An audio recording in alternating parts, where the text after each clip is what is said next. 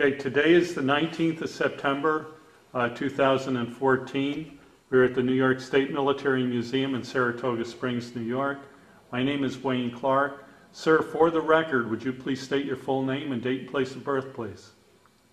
Lawrence E. Corbett, born in Fort Edward, New York, on May 11, 1921.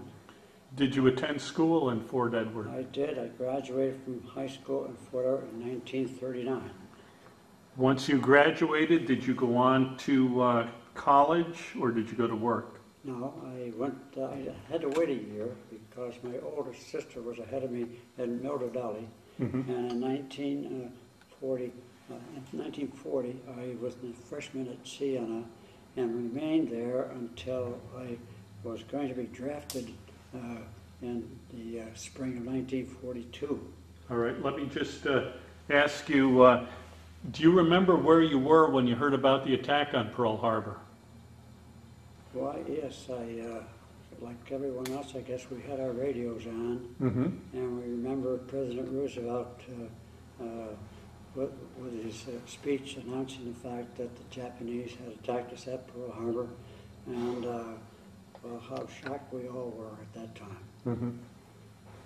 Uh, And uh, you mentioned uh, getting your, your draft letter. When was that? In the spring of 42? The, uh, probably, well, the, the second draft was in the late March of 1942. Mhm. And I got the ninth, the thirteenth number called nationally. So the Washington County Draft Board uh, was in touch with me within two to three weeks and had me uh, in the top ten to be drafted at the next draft. And actually, they did have a draft in June, but in the meantime, I had run down to the uh, recruiting center in Albany Mhm. and enlisted, and uh, and I, I but my actual enlistment didn't begin until I had signed up and was transferred to Newport, Rhode Island. Now, let me ask you, why did you pick the Navy? Well, well, I, uh, I right now, I probably can't give you an adequate answer to that question for this reason. I, uh, I knew I didn't want to be in the Army. I, Mhm. uh, I, we had already had uh, uh, uh, uh, casualties in the village of Fort Edward in the, uh, in the, in the infantry that were, uh, Company K uh, in Glens Falls, New York, uh, had already uh, suffered, uh, they had men called up in Glens Falls, and we already had suffered casualties uh, in the, uh, in the local community in World War II. Mm-hmm. And I didn't want any part of being in the infantry. I wanted to be aboard a ship, and that's the reason I enlisted in the Okay. Okay. And you mentioned uh, getting your draft uh, letter and talking to the college dean, Yes, and he said that if you went in, you, you'd be credited with a full semester. that's correct. That, that is correct, and that's exactly what happened. Okay, I and, got, I got a full two years of the, uh, of credit for my, my first two years in Siena. Mhm. And I returned to Siena uh, in, the, in the fall of 1945 uh, after I was uh, separated from the, uh, from the Navy, and, but I had, I was continuing to be in the, in, in the reserve. okay, all right, let, let's go back to when you first went into the Navy. And Now, where did you go for your basic training? Newport, Rhode Island, Mhm. where I was uh, in, instructed in the, in the field of, of uh, navigation. Now, what was that like for you? Was that your first time away from home? Well, no, not the first time away from home. Uh, my, my family was a railroad family. My Mhm. father was a rules examiner on the Delaware and Hudson Railroad. And uh, between my mother and the, the railroad passes that we had, uh, we, we traveled, uh, we used as a kid growing up. I had many uh, trips uh, with my dad. Uh, he was a rules examiner, uh, and uh, he was like a school teacher uh, Mhm. in, in the railroad. And uh, he used to give examinations to the engineers, the firemen, the brakemen, uh, the, yard, the yard masters, and so forth. Okay. And uh, I've been to Rouse's Point, I've been to Saranac Lake, I've been to Wilkes-Barre, Pennsylvania, Mhm. uh, and uh, any number of places. So that, uh, train travel was very common to me and, and my and my family Mhm. during my childhood. Okay. Okay.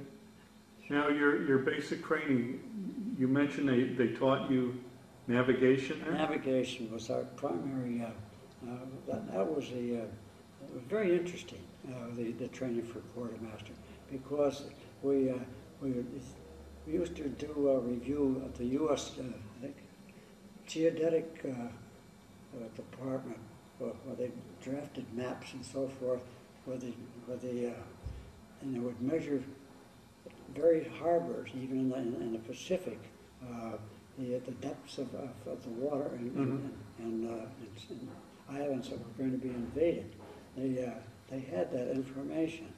And uh, unfortunately, uh, when it came to the Tarawa invasion uh, in, in November of 1943, they hadn't done adequate in, uh, investigation of that island, and they were totally unaware of the fact that uh, twice a year, Tarawa has less than two or three inches of, of, of tide. And that was the reason that the, that the, the landing barges in Tarawa invasion got hung up on the, on the coral uh, beaches and on the, coral The reefs? Uh, coral reefs rather, Mhm. and uh, the, and the Marines were slaughtered. It was a terrible, terrible, badly planned invasion. And uh, uh, there's one instance I can recall, and I can't remember the name of the general of the Marines, but I was up on the bridge of the ship at that time, and uh, and uh, actually the uh, the conversation between the general of the Marines and the general in charge of of the whole invasion came over the loudspeaker system within our, our cockpit of our, ship. And, and Commander Brown said to me, Mr. Corbett, I don't think you should be hearing this, this, this. Why don't you go back out onto the wing uh, of the ship? But that, what was going on was the Marine General was calling the admiral aboard uh, his ship all kinds of, oh, using the F word, uh, uh, all the, the curse words that he could say. And uh, my Captain Brown didn't want me hearing the, hearing it, but I actually heard that general bawl out, that admiral aboard the ship, that they were getting inadequate bombing on the island, and that the, uh, that's why his Marines were getting chewed up by the Japanese. It was a, it was a very unusual situation. Now, let, let me, uh, let's go back a little bit to uh, your training. Once, once you completed your quartermaster school, did you go on to any other training or did you go aboard a ship? No, I went right aboard the ship in December, uh, the first week of December of 1942. Mhm. I was assigned to the Biddle. And uh, within four days after my being aboard that ship, uh, we, we took off for the South Pacific. Uh, Mhm. We stopped in Guadalcanal. Uh, no, not Guadalcanal. In Guadalcanal, no, not, not Guadalcanal, I'm sorry. Uh, excuse me, that's a mistake. Uh, where the uh, where the terrorists are being held right now on that island, Cuba. Uh, Oh, Guantanamo? yeah, Guantanamo Bay, that we were, uh, we, our ship had to stop there, and there was a, a, a crew of, um, uh, carpenters, plumbers, and so forth, uh, who were in the Navy. And we had, we took a, we picked up a shipload of, uh, of sailors who were gonna be transferred to the South Pacific in order that they could do their building and, and so forth on the islands what they, uh, that could be captured by the. So were these Seabees? Seabees, that's Seabees? exactly, Okay. that's exactly what they were. Yes, they Okay. were Seabees. Thanks for inviting, remembering.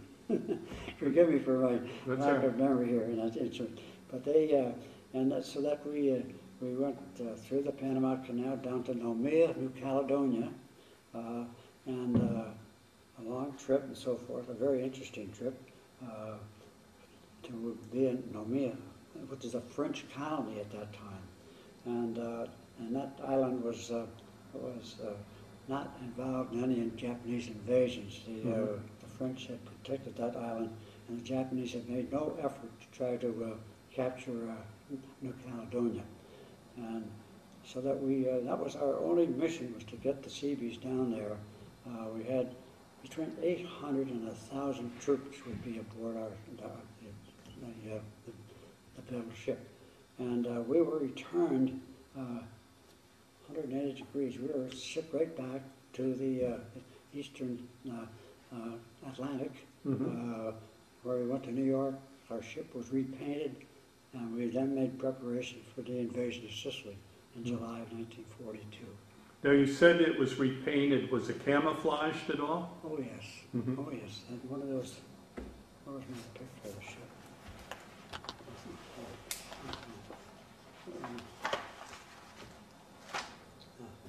Yeah. Here's a. Uh, here's a picture of the ship. Okay, Uh, yep, it- uh, bring it closer to you, Oh, uh, and that, that way it's easier for me to uh, zoom in on it. uh, Let's see here.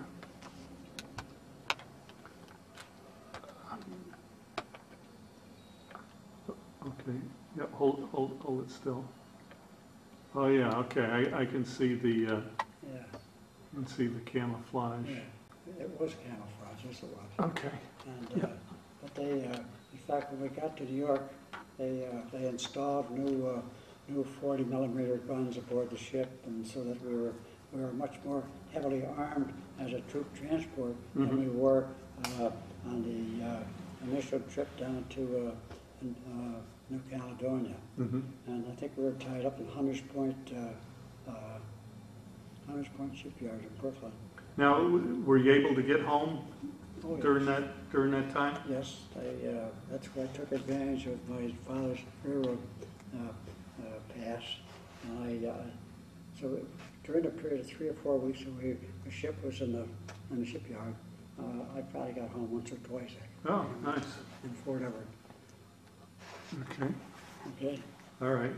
Okay, once, once your ship was fitted and you took off for, Then, For Europe. Then, uh, we took off, uh, now we went down to the uh, Chesapeake Bay and we trained, uh, we trained, uh, uh, they'd uh, have troops, uh, uh, boats, um, would go into the shore and land on them. They, up in the Chesapeake Bay, they, they trained to, uh, whenever there was rough, good rough water, even in the Chesapeake Bay, uh, troops, uh, were four, now four or five weeks, we were up in Chesapeake Bay training troops to land on the beaches. okay, Okay, so that we, in July, when we invaded the, yeah, in Sicily, actually, the, the landing, uh, in Sicily, uh, was, was, uh, unopposed by the, uh, by the Italians. We, uh, the, there was, there was, uh, the only,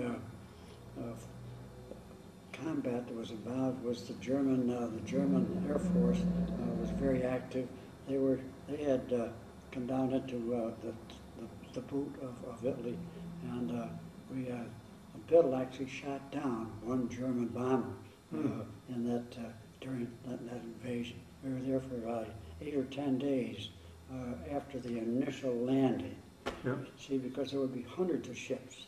mhm, Our, our convoys going to Europe consisted of zigzag and so forth, and we'd have as many as four columns of ships in this convoy abreast of one another, and probably six to eight ships in line.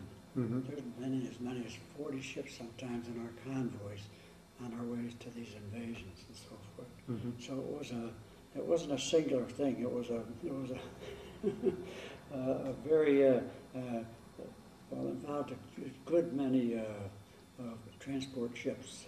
I can't remember the names of all the ships involved in the, in, the- Okay. like the William P. Biddle.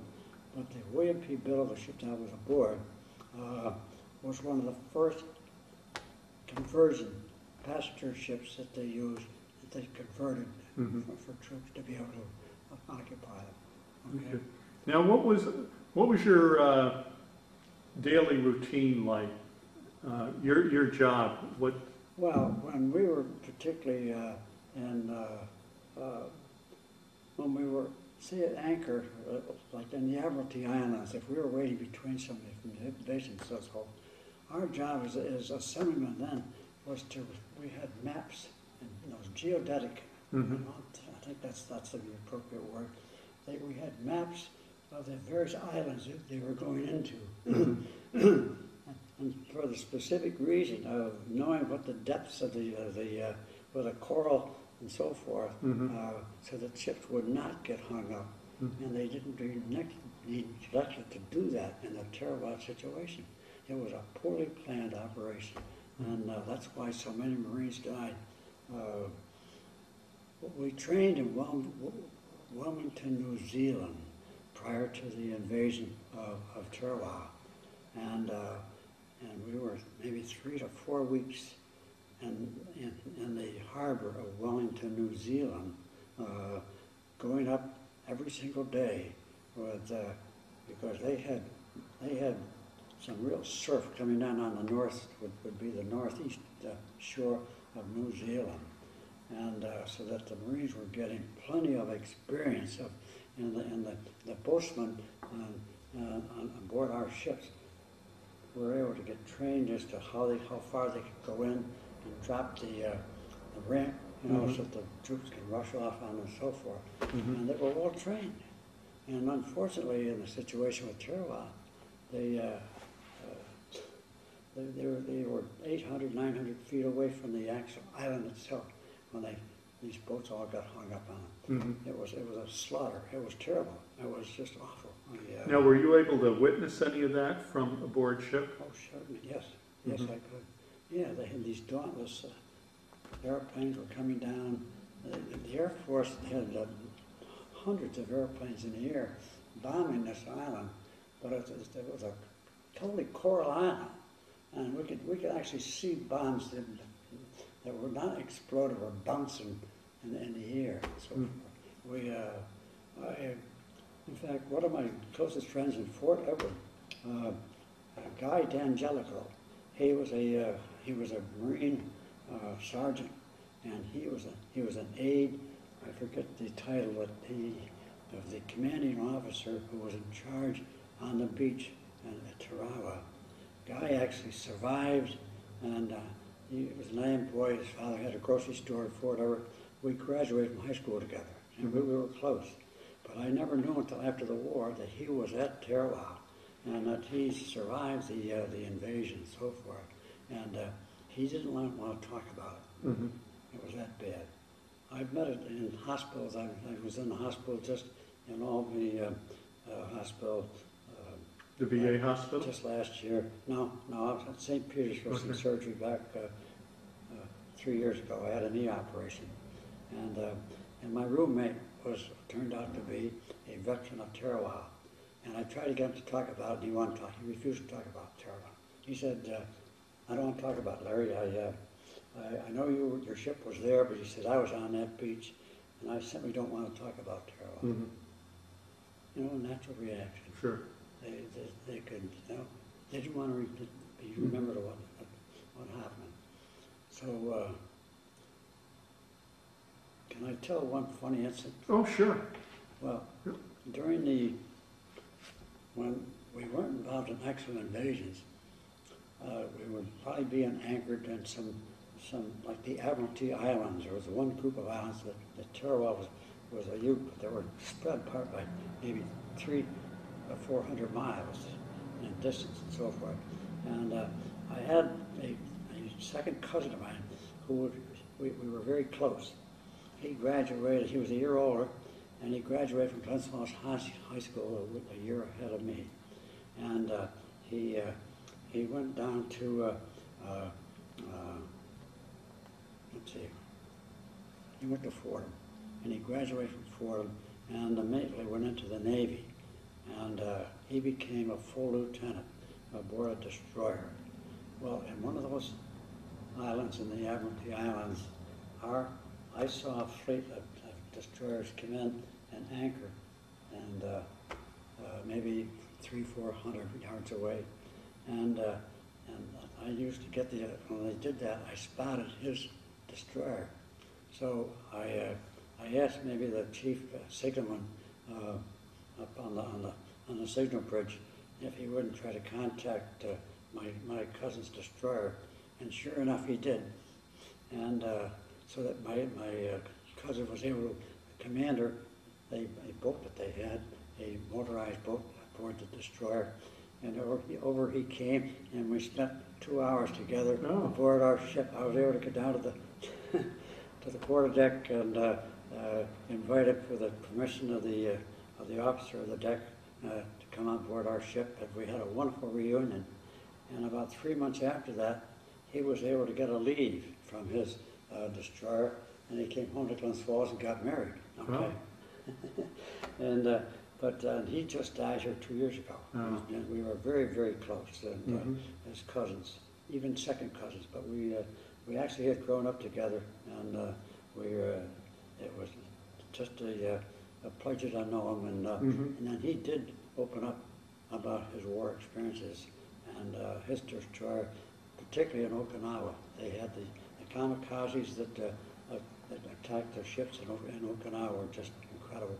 And he was lucky to survive, and his Mhm. destroyer was lucky to survive.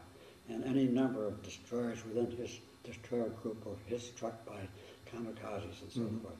They, uh, it was a, it was, uh, Okinawa was a nightmare I mean, for, for the Navy. Mhm. And, uh, well, the island, of course, we lost nearly thirty thousand troops in, in Okinawa. It was, that was a tough, Mm. that was a tough invasion at the end of the war.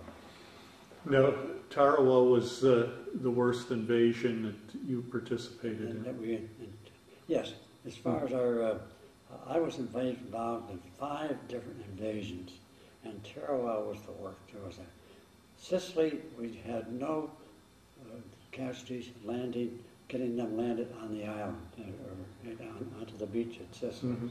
Tarawa was the worst.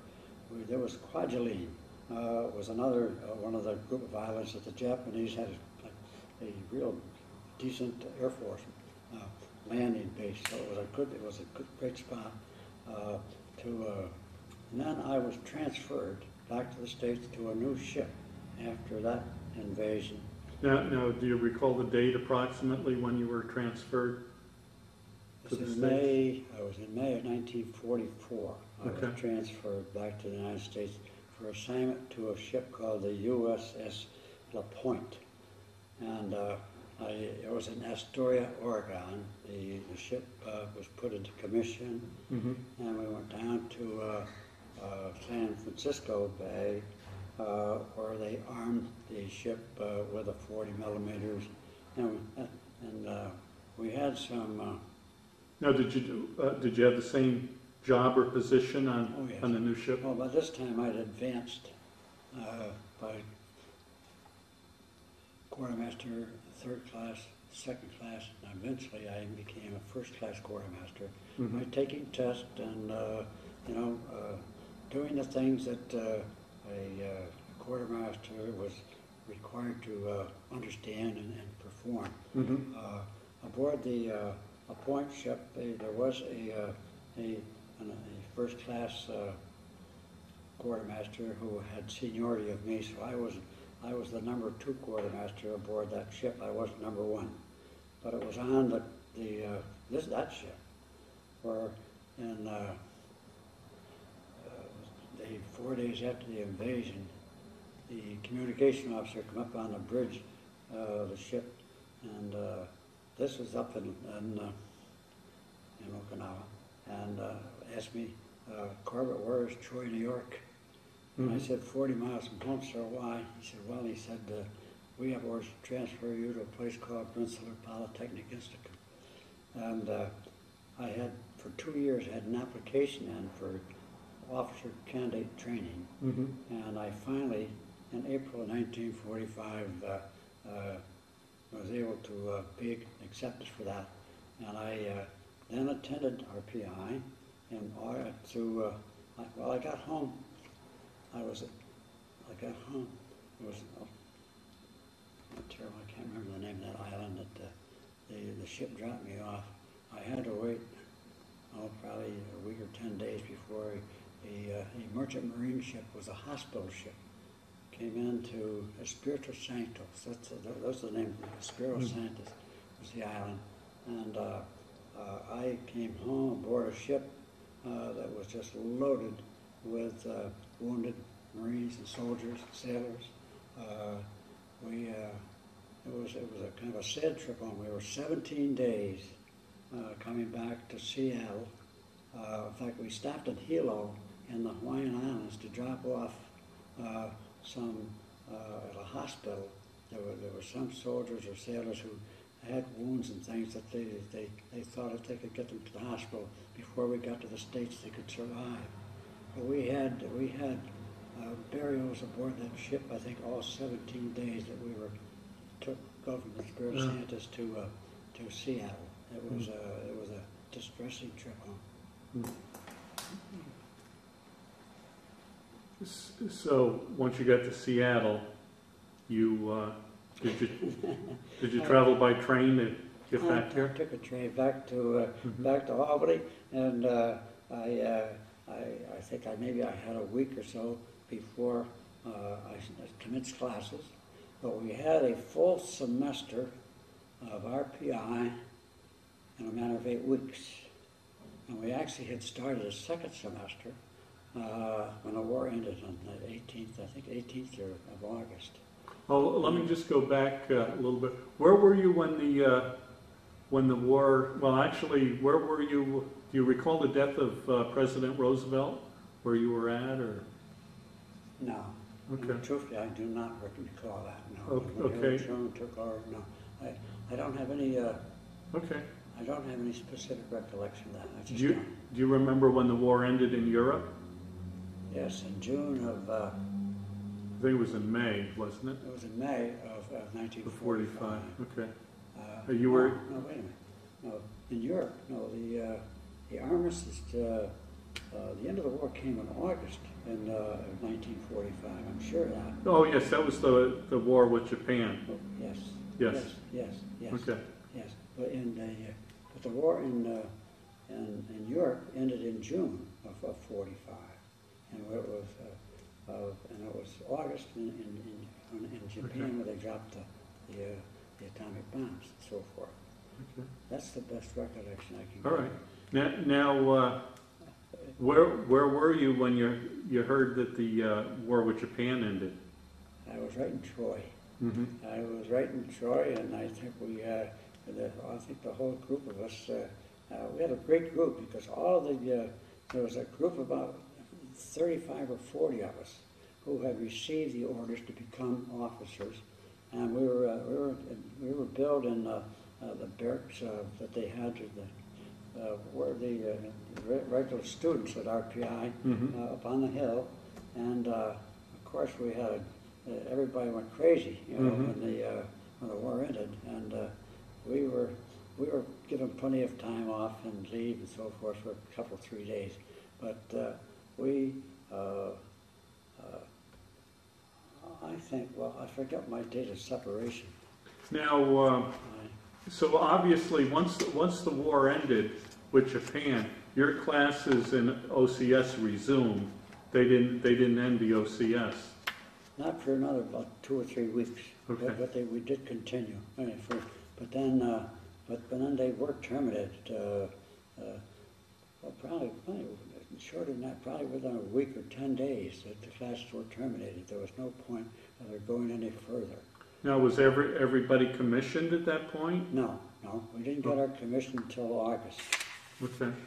Uh, no, twentieth of September is actually when we, when I got my commission, and I'm Okay. sure the other members that were in my class Okay. must have gotten it at the same time. Where were you when you got your commission? Were you still at RPI? Yes, yes, Okay. I would. yes, Oh, no, wait a minute, hold on. No, I, uh, I think actually, when, when they terminated the classes, uh, that's when I got shipped to, uh, uh, Oh, you, you- what's this say here? was it Sampson they sent you? Uh, Yes, they did. Mhm. Yes, yeah, eighth of September nineteen forty-five, Sampson. So I got shipped from, from RPI up to Sampson, right- right here. Okay, And, uh, all right, Okay, okay. okay, and that was, uh, and then so that, uh, then I went back to Siena College within another two weeks. uh, And started my, my junior year at, uh, at, uh, at Siena. So I, uh, Now, now you, uh, you made use of the GI Bill for that? Oh, yes, yes, Mhm. yes. I, I made, not only that, but I, uh, it got me into law school. I finished, uh, I graduated, uh, in, uh, 1946 from, uh, no, no, wait a minute, no, I had two years. I was nine. I graduated from Siena in 1948.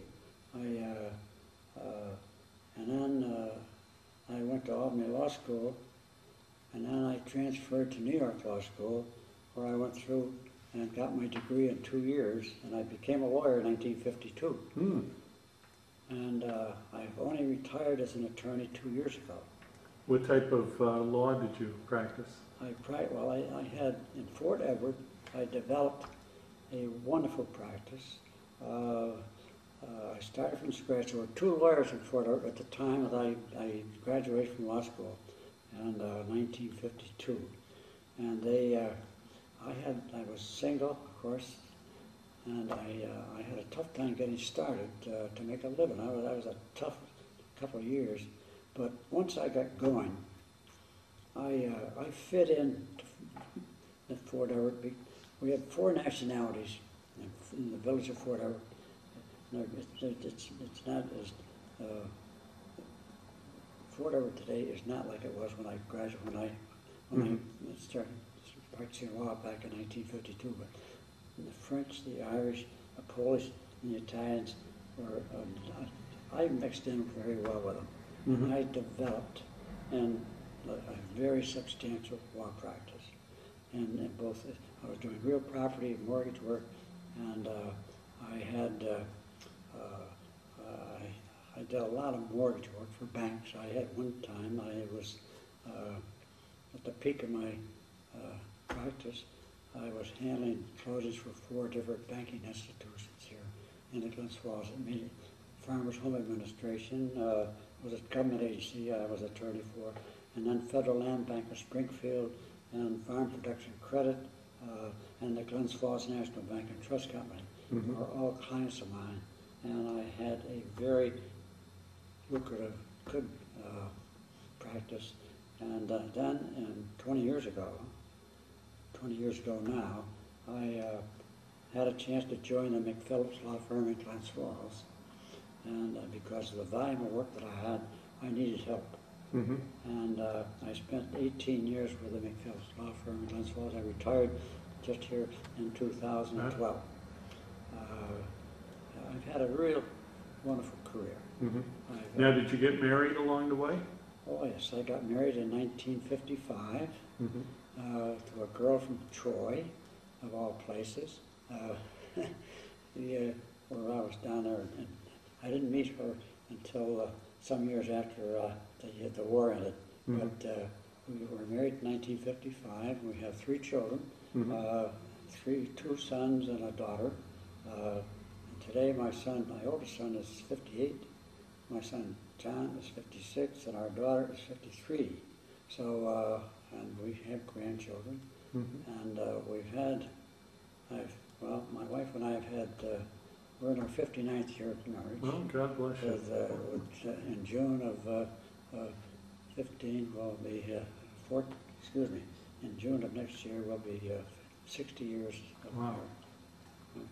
So we, we've, she's hung there with me all the way, and Hmm. uh, right now she's an invalid. She's uh, she's had uh, serious injuries uh, from falling, Mm-hmm. and uh, and it's uh, but we're now residing at Prestwick Chase, and uh, we like it, and uh, we're doing the best to to uh, end up our lives there. Mhm. all. Now, did you uh, did you stay in contact with anybody you were in the service with? Uh, uh, You yeah, mentioned you mentioned the one fellow that uh, well, you had sent the letter to. The, uh, uh,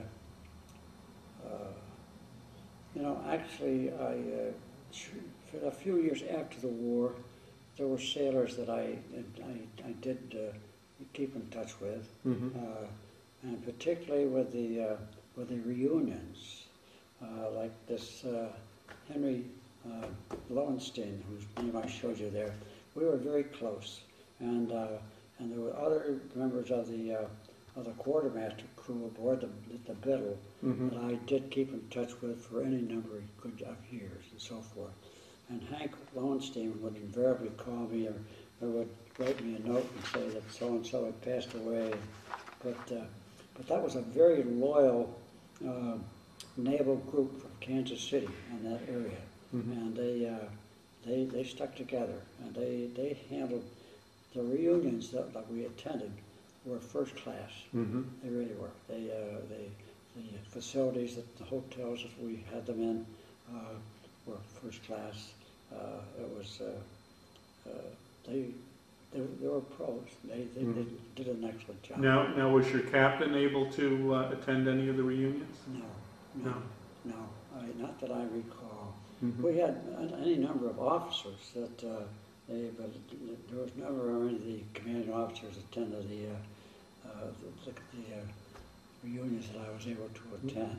But there were, there were lieutenant commanders, commanders and full lieutenants, uh, any number of them would attend the, uh, the, uh, we'd have probably, as many as, well, the first year in San Diego, there was in excess of two hundred, uh, uh, former, uh, uh, who were assigned to the, that the bill attended.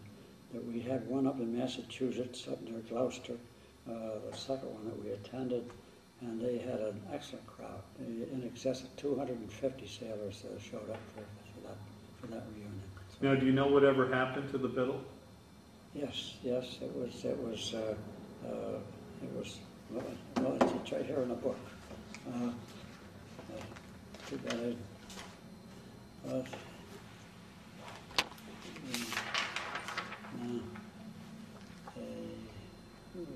Uh, The final let's see, page nineteen, I'm gonna, just a second.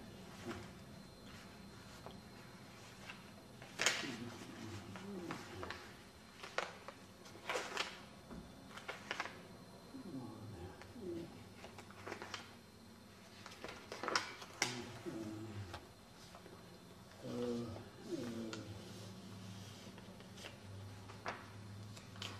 Let's see. Struck from the Navy list on June fifth of nineteen forty-six, the William P. Biddle was turned over to the Marine Commission at Lee Hall, Virginia on July 19, 1946. Placed in the reserve fleet in the James River. William P. Biddle remained there until she was towed away and was scrapped in nineteen fifty-seven. Yeah. Uh, William P. Biddle earned seven battle stars for her World War II service. Uh, although a gallant sh- ship had ended her career, she will always exist in our memories and in our hearts. She has still sailed the high seas. She took us out and she brought us back. Well done. Hmm. Thank you, let's see. Uh, Now, I, I, it was a pleasure for me to be aboard that ship. It really was. The, uh, Mhm. the crew were. Uh, uh, uh, there wasn't any uh, anybody that was impressed with their own importance and so forth. And the, the Mhm. officers uh, were just tremendous. I, I have nothing but good things to say about the uh, the officers who were in command of the ships. And, and the, the second ship I was on, I wasn't on that long. Uh, the, uh, the USS La Porte. I, uh, I was, we, I was assigned to that ship in September of forty-four, and of course, in April of forty-five, I, uh, I got, I got transferred back to, uh, the United States. Mhm. So that, uh, it was only like eight months aboard that ship. Uh, so I, I didn't grow close to any particular officer, or other than the fact that the communication officer, uh, after, uh, he told me that, uh, he wished me well, Mhm. when, uh, when I, when he told, told me that I was, had been successful in, in getting, reaching the, officer candidate school. So I, I'm very proud of the fact that, uh, and, uh, James Forrestal, Secretary of the Navy at that time, unfortunately, and that, this was in September, he committed suicide in November of nineteen forty-five. We don't know what the reason was, but he died in, uh, in, in Washington DC. But they, uh, I, I treasured that all my life. Mhm. Yeah. now, how do you think your time in the service changed or affected your life? Well, I, um, it taught me, you know, between the Navy experience and where I was raised and brought up in Fort Edward, uh, I learned to get along with people. Mhm. I, I've had a great success, uh, particularly in my law practice, because of the fact that I, uh, uh, I've enjoyed people all my life. I've made friends easily, and uh, I've, actually, my retirement, I missed it like crazy uh, for the first year. I finally, now that I'm in, well into the second year of retirement, I'm, I've accepted it, and uh, I have a wife that I have to take care of right now who has some physical disabilities. So, I, uh, overall, the uh, the 38 months that I spent in the United States Navy was certainly uh, instructive for me for the way I conducted myself for the rest of my life. Mhm. Okay. Anything else you'd like to uh, touch on that uh, I, we may have missed? uh, I, I only wish that I had brought that other, the rest of that book with me to show you about that, uh, the fact that I, I did actually be promoted to uh, a Lieutenant JG, and I, I haven't brought it with me to sustain Oh, uh, you read a letter to me earlier about, uh, it was from the captain after the uh, battle at uh, Tarawa. Do you want to read that? Uh, We'll, we'll get that on uh, tape. Yeah, yes. Uh, This is a letter from the captain, commander, uh, uh, commanding officer of the USS William P. Biddle dated November 25, 1943, to all hands. This is Thanksgiving Day. It is, for most of those now on board, one of the most appropriate Thanksgiving days in their lives. We have completed a most difficult and dangerous assignment under very trying conditions. Not having been scheduled to do our work in any particular order, or in fact, not even have our work defined, and at the same time being called upon to do a tremendous amount of work on call, actually required more effort and more strain on the part of all hands than if we had been following a definite plan. I know of no instance where the USS William P. Biddle or any officer or man of the United States William P. Biddle smirked, uh, shirked, uh, malingered, or otherwise hesitated, regardless of danger, confusion, or fatigue, and I know all hands gave the job everything they had. As commanding officer, I am grateful to you all. Signed, L. F. Brown, Commander, USNR Commanding Officer. Uh, we were very impressed with that letter. Mhm. It was, uh, uh, it, it was a tough situation. I, uh, would you want me to Sure, that? sure. The above letter dated five days after the assault landing on Tarawa, the Gilbert Islands. More than 1,900 Marines were killed within 72 hours. An additional 1,200 Marines were wounded. It was a poorly planned invasion, and the Marines paid an awful price. Twice a year, there is no measurable tide on Tarawa Island. Our landing craft got hung up on coral reefs a thousand feet from the beach. The Marines were sitting ducks for the Japanese. It was a sad commentary on the preparation for a major invasion. And it was, uh, uh, and the General of the Marines, uh, I personally heard him and complained uh, to the admiral in charge of the whole invasion. It was, uh, as the the captain said to me, Mr. Corbett, I think maybe you shouldn't be hearing this going out onto the bridge. Okay. He, uh, he was a wonderful man. I'll tell one more story Sure. about him. This is funny. Uh, in one of the islands that we were, were laid up for, probably a week or whatever, we, there was a room right behind the bridge. It was a, it was a chart room where we used to work on the maps and so forth. And, uh, uh, on this one particular day, I, I noticed that the, the captain had got into a, a, uh, a small boat that was aboard our ship and went off to, probably to confer with other captains and other ships and so forth. So, in my leisure, uh, and, and we had some mail delivered to us, my mother had sent me a book to read, and it was written by a man who, was a journalist with a, with a, with a Daily Mirror in New York, not the Daily News, but the Daily Mirror. And it was the funniest book that I could ever think of reading at that time, okay? And what do I do? But I went in and there was a, right off the chart room, behind the bridge, there was a small cell of a room that the captain could go into and lay down and, uh, and rest Mhm. While, you know, we're at sea. Well, I took it upon myself to go in and I laid down on the captain's bed. And I'm reading and I'm laughing this, and, uh, my head off. I, I wish I could recall the name of the book, but I, it's, it's, it's escaped me today. I'm talking to you. But anyway, I'm laughing and hooting. And the first thing I know, the door opens up. And who's standing there but the, the, the captain, Captain Brown. Mr. Corbett. Yes, oh my God, on my feet. He said, uh, it's obviously uh, a humorous book you're reading. I said, well, he says, your punishment is this, Mr. Corbett. He said, for laying on my back. I want to be the first to get that book when you finish it. that was a true story. Uh-huh. That was the type of man that he was. And, and obviously you gave him the book. I did. And uh, it I wish I could remember the name of that book. It was, a, it was, it was, a, it was comical. And it was true stories that this, this, this reporter had in, in, in gotten occurred in his career as a, as a reporter, particularly in Brooklyn, uh, prior to the war. And uh, uh, it was, it but that was, uh, that told me more about Captain Brown than anything else. He, uh, he, there was no, well, I, you know, I could have been court-martialed for crying out loud, you know, yeah, but he, uh, he had a sense of humor and, uh, uh, it was well worth the while.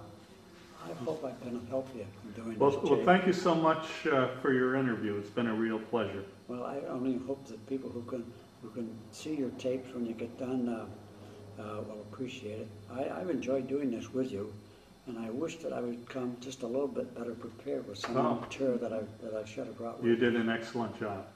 Okay, well, thank you. Thank you, sir.